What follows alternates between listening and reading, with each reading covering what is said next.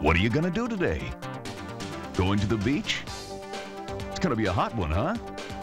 Hilton let you know. Weather, Weather affects, affects your, your life.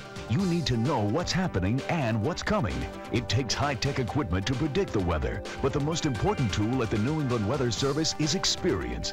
Hilton Kaderli, Bruce DePrest, and Joe Furey have the experience that it takes to bring you Connecticut's most accurate forecast and help you make your summer plans.